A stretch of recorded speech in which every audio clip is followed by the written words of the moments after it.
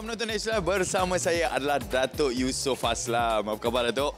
Baik, alhamdulillah. Ya. Okey, Datuk Yusof Aslam, kita nak bercerita pasal anak Datuk Safiq Yusof dengan kejayaannya semakin hari semakin lama semakin matang filem yang dibuat terutamanya filem Bila Nabila yang mendapat perhatian penonton mungkin Datuk uh, mungkin boleh cerita sikit feedback daripada filem Bila Nabila daripada seorang ayah ataupun seorang pengarah yang berpengalaman kepada anak Ya.